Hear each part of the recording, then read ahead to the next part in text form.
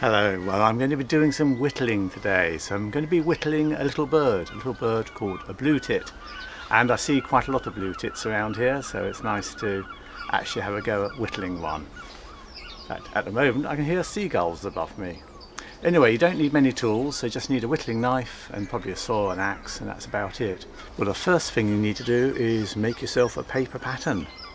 So I've got my little blue tit here, they're tiny birds, and all I've done I went onto um, a couple of books onto the web found a profile I thought looked quite nice and just printed it off drew around it and hey presto you have your template.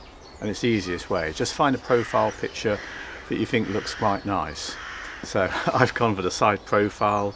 Um, probably the thing that makes the blue tit slightly stand out is its little tiny beak and the whole thing's pretty small really. Nice little tail. So Going to be fiddly to carve, being small. You could do something larger, like a thrush or a blackbird. It really doesn't matter, whatever birds you have in your area, perhaps. Anyway, I've got a nice bit of wood, so you could just um, use a bit of firewood. I've got a nice bit of log here, a bit of lime as it happens. That would be very nice. And you can also buy sort of blocks of wood as well for carving, for little chip carving and whittling. Um, so you could always use one of those. So plenty of options. Tool wise, I'm just going to use uh, a whittling knife, a couple of knives, uh, probably my axe and a saw, and that's pretty well it. So you don't need much, it's not expensive to get into this. It's one of the joys. And I mean, I'm sitting at the moment beside a firewood store. There's no reason why I couldn't really be using some of that. It would just be a bit tougher because it's seasoned wood. This is totally green off the tree and the advantage of using the green wood is it's a lot easier to carve. People get worried about cracks as it dries but actually I've been carving a bird, popping it straight in my airing cupboard and it dried within like a week. It's amazing, amazingly quick and you can tell by the noise because it's not so sort of loud as you hit it. anyway, let's get this cut. Let's draw a profile. So I'm actually using the base of my spoon, spoon mule here as a workbench. It's quite useful. Got my little paper cut out. Just going to allow a quarter inch, six millimeters each end. Not very much. Mark that and then cut it off. Being greenwood you'll want a sort of non-cloggy type saw ideally for cutting this.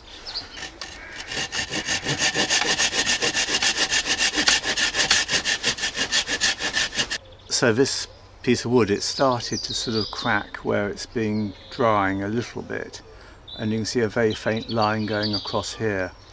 I want to avoid the absolute core of the tree for this so I'm going to do a little axe cut about there and I'll be able to get one blue tit down there. And then I think if I just axe slightly to that side, I'll then maybe get two blue tits the other side, we'll see. But uh, uh, I'm avoiding that central core just because I feel there'll be a bit more movement on the wood in the centre. If I try and get it a little bit red, a bit wider, there may be a little bit less, who knows. So I can cut this down with my axe. Do that. Just need to hit it with something. I think this may do it.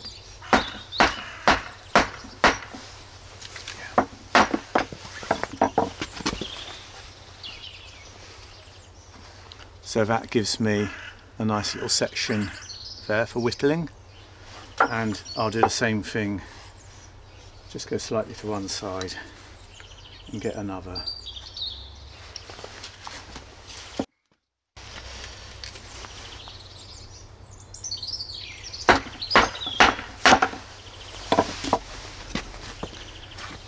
I'll keep that and maybe make something else at some point.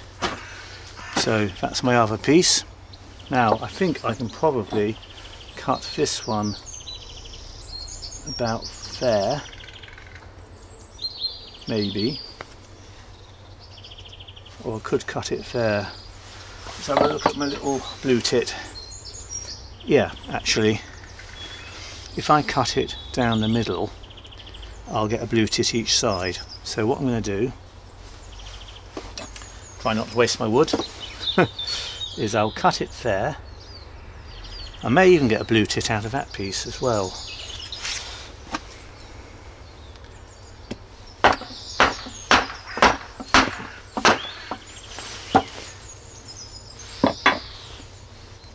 So that's that already.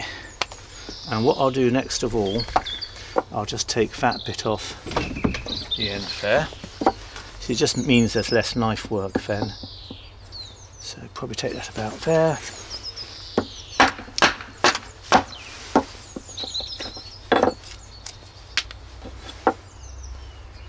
And ditto, take these bits off because I don't need these.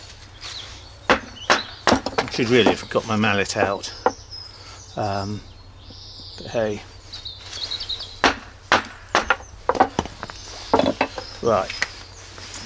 So I've now got a few nice little blocks for carving my blue tits. Whittling them. I always say carving, I should say whittling. So I now want to draw around my little paper template. And what I want to do is keep the beak, which is the most delicate bit, with a nice bit of straight grain. So the grain at the moment is running in the direction of this pencil. And I want to keep that beak nicely in line with the grain so it doesn't shear off. And ditto the tail, ideally I want to try and keep that with a nice bit of straight grain. So just draw around. I tend to exaggerate the beak at this stage because then it's if it does get bashed I can sort of you know realign it a bit. Anyway, try and draw around, it's a little bit tricky because the wood is obviously apart from being a bit damp is quite uneven from the break. You could, if you had a saw bench or bandsaw, you could saw all of this quite happily. And again, I'll make the tail at the moment a little bit longer so I can trim that and cut it later but it sort of protects it a bit. I'm using a 2B pencil so I'm using quite a soft pencil for this and there you are, I'll have my little outline of my blue tit and I have to laugh because someone else is taking a great interest in this project. Mr. Tomcat has paid a visit. It's quite nice and sunny down here relatively. It's cold but it's the, the warmest place at the moment. So having drawn around the shape now I'm going to just um, axe off some of the sort of like outline. So um, I can just go along with my little hatchet axe. You could use any firewood axe for this. And just really try and get rid of some of this excess material. If you don't have an axe or you don't like axing, you could maybe use or borrow a little coping saw and you can make a little table for it which you can clamp to a bench. And for example here where I'm going to have to cut down the middle, I'm going to use my coping saw and just go down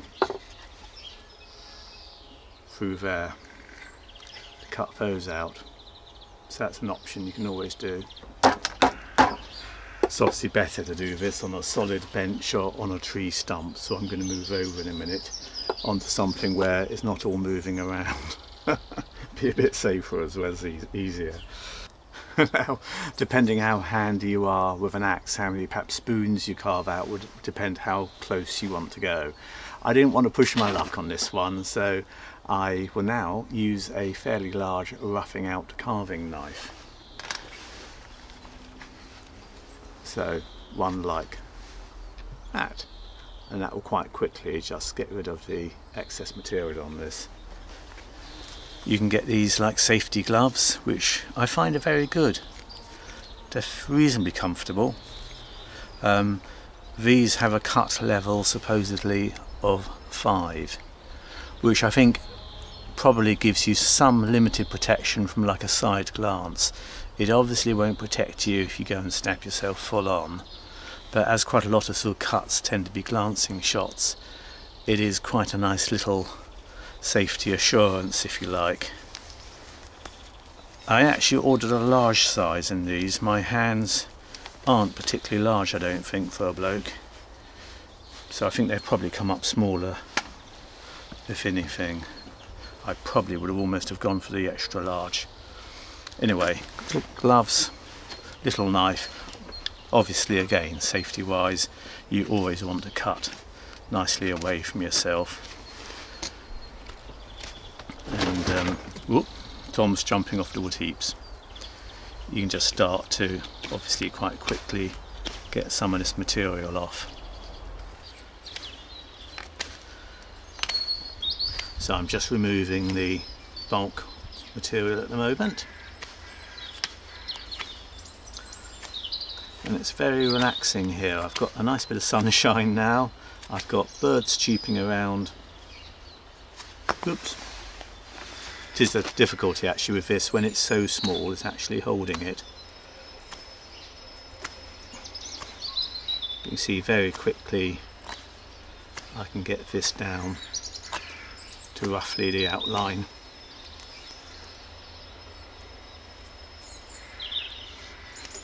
I'm obviously all the time cutting sort of with the grain so do think about the grain direction as you do these cuts.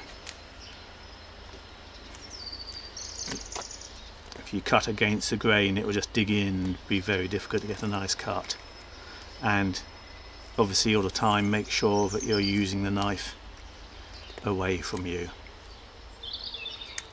And it's quite good. You can sort of use your other hand to work the knife. I quite like a knife like this because the blade isn't actually too long. Quite a few of the sort of knives you get they have a very long blade.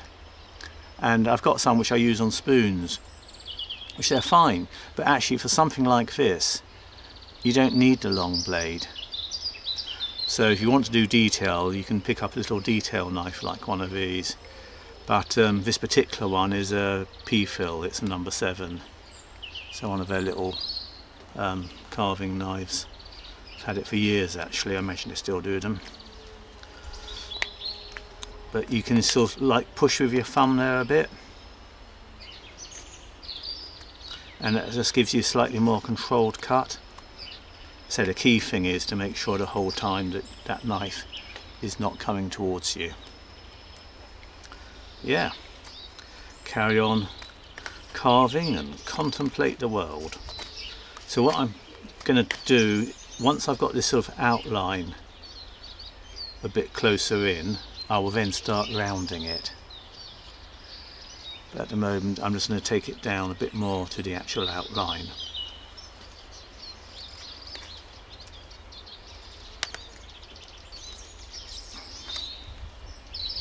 Trying to do the sort of same amount each side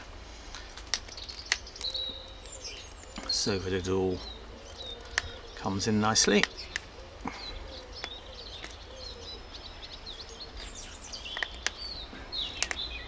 You don't have to, I mean nature is not exactly perfect so one of the sort of joys of I think the whittling is you can be a bit sort of rough and you can still get a pretty good effect I think. Well I like it, it's a very rustic sort of, I'm not aiming here for great perfection, it's more of a like a rustic type effect. But it's what I personally rather like. Now the beak, I'm not going to take that down too much at the moment, but I will get rid of some of the bulk around the beak area. It just begins to help to define the actual bird as well. If you sort of start to feel your knife might be getting blunt, just um, give it a strop. So a bit of cutting, polishing compound here. This is the green kind, which I quite like. It's fairly coarse, but it does the job nicely. This is just a bit of a like suede leather. You could use the um, nice grain side of an ordinary veg tan leather and just give it a bit of a few passes along there.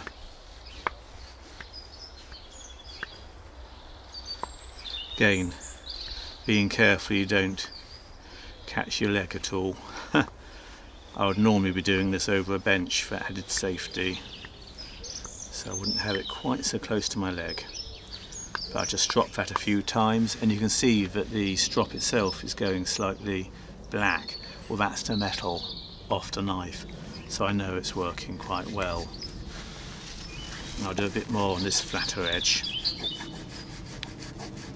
I just make these little strop boards up out of various bits of skirting board and other bits of offcut I have lying around. And you'll be amazed how a little bit of stropping and your knife really will come up very nicely. If you're a leather worker you probably do a lot of this and you'll know exactly what I mean. So that's ready back for action. Final trim round just to get rid of this bulk. Yeah, that's a bit better and I think I'm fair. So I've got the outline roughly done there. What I'm going to do now is start rounding it and slimming it back at the tail. So you can get quite quick results doing this. Just take it back a bit and try and do the same sort of roughly each side. As I say, the beauty of this you don't have to be super accurate.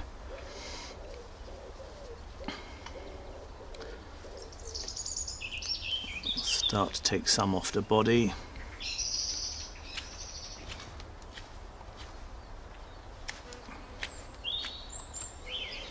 So do the same. This particular piece of wood, I cut it quite close to the bark.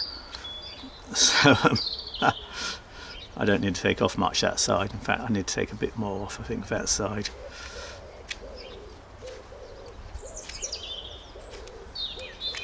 The knife's nice and sharp with that strop. Same here at the front. And just really, just keep thinking in your mind, well, what's a bird look like? Well, it's um, a little tiny round lump, isn't it? It doesn't have a square head, it has a rounded head. So just sort of think about as you do it. Birds don't have necks.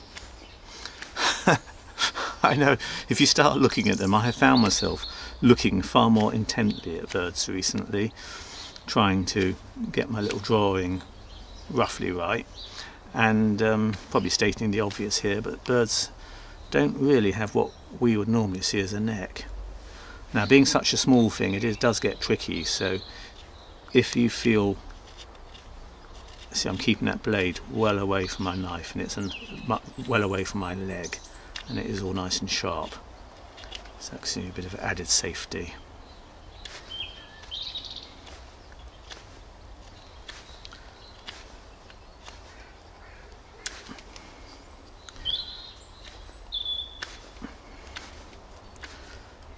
I'm basically sort of in my mind thinking we'll get this all down so we get all the riven wood hidden and we just have carved wood only showing. So that's what I find is quite a good guide.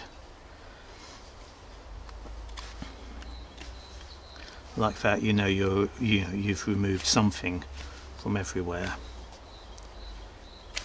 And then just really every now and again I, I tend to stop and look at it and think, oh, you know, is that looking birdie like? Do I need to take a bit more off somewhere? So I'm going to push my knife here, you see I've not got a lot of space. There we are. that's why I quite like the shorter blade. All of it's personal obviously and you'll get some people saying oh get a, a knife with a, a long blade and do this but anyway you, you'll find your own way.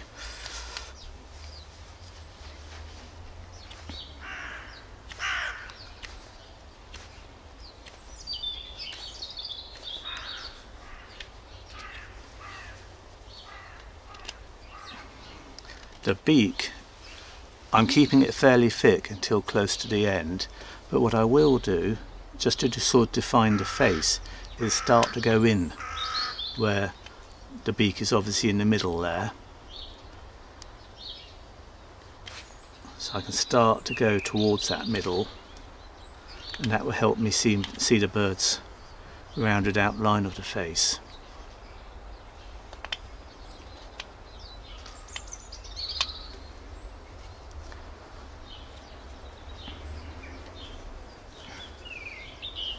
I need to put it on a bit of a diet still at the moment. If you sort of look down headways, it's too fat. So looking down the top from the top. But um, I'll, I'll carry on whittling. I'll take it down a bit there and slim it off.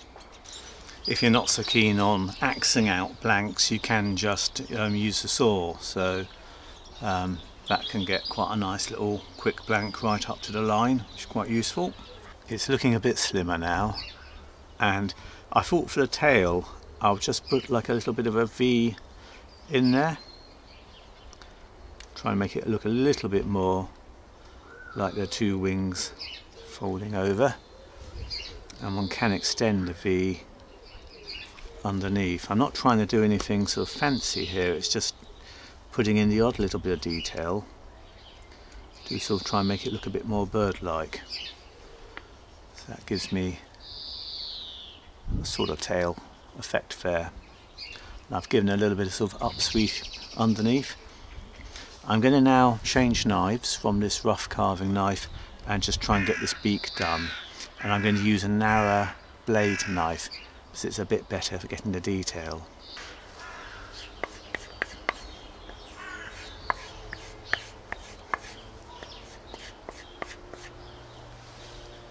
So this knife, it has a slimmer blade, similar sort of length, it's just slimmer, which means you can sort of do slightly tighter curves. So, for something like the beak area, where I want to try and get in here and define a beak. It's quite useful. But with this you can sort of like do a turning action.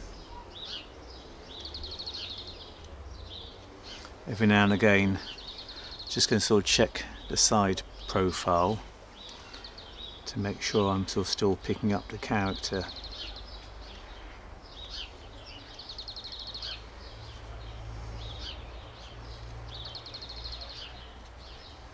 Again obviously trying to look at it so from the underside as well and from the top to make sure one keeps everything sort of symmetrical.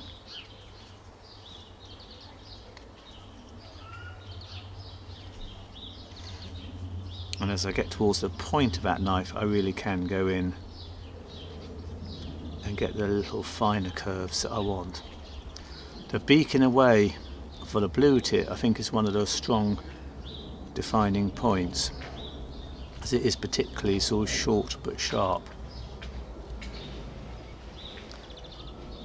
So I do a little bit more shaping around the head to try and make all of that blend in.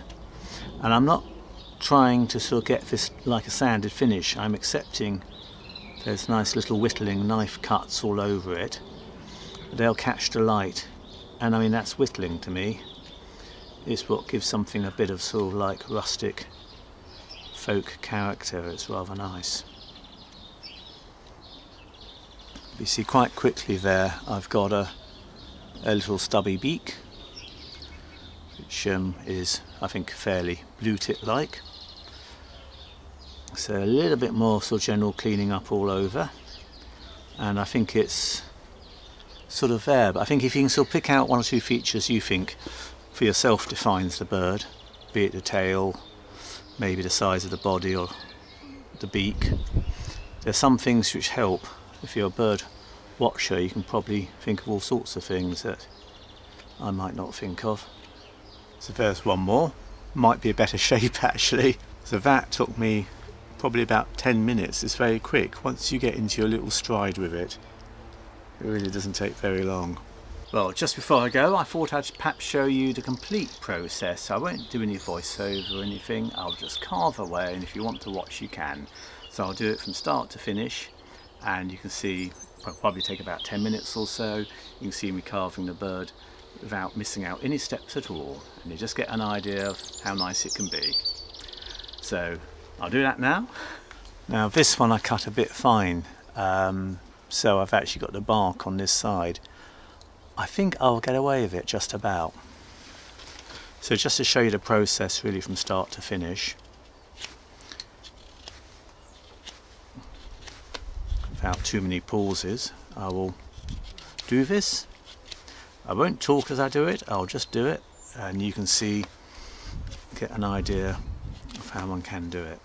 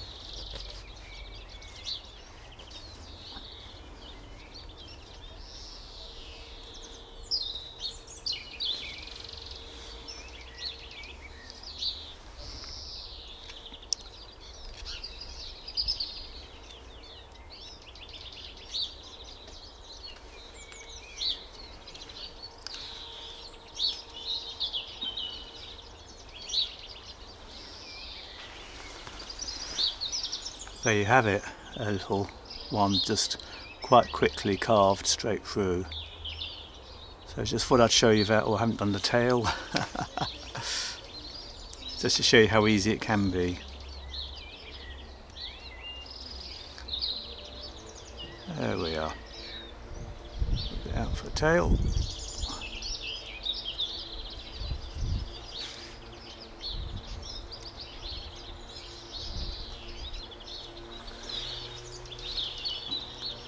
There's one more. Well, if you got to the end of that, congratulations. I hope you enjoyed seeing my little goes at bird carving. What I'll be doing in the next video is showing you, or at least the next video on carving, or whittling. Yeah, whittling really, isn't it? On the next video on the whittling, I will show you how I attach the legs and do the eyes and paint them, which is quite good fun as well and you end up some very attractive looking little birds. Okay then, thanks so much for watching. Bye bye.